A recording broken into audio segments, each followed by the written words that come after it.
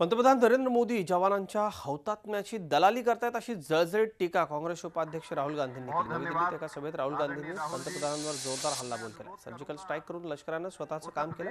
मात्र त्याचं श्रेय घेण्याचा प्रयत्न भाजपनं करू नये असं राहुल गांधींनी यावेळी म्हणत नरेंद्र मोदी सरकारवर निशाणा साधला. बहुत धन्यवाद.